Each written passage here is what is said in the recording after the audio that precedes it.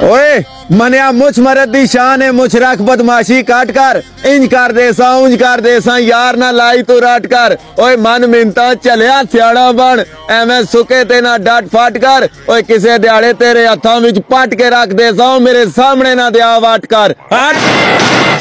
ਆਂਦਾ, ਉਹ ਮਾਪਿਓ ਦੇ ਕਰਕੇ ਚੁੱਪਾਂ ਮੇਰਾ ਪੁੱਤਰ ਜਵਾਕ ਨਾ ਸਮਝੀ, ਤੇ ਤੇਰਾ ਖੋਖਾ ਤੇਰੀ ਚੈਂਬਰ ਵਿੱਚ ਪੁੱਠਾ ਤੁੰਨ ਦਿਆਂਗਾ। ਇਹ ਗੱਲ ਮਜ਼ਾਕ ਨਾ ਸਮਝੀ। ਹਟ।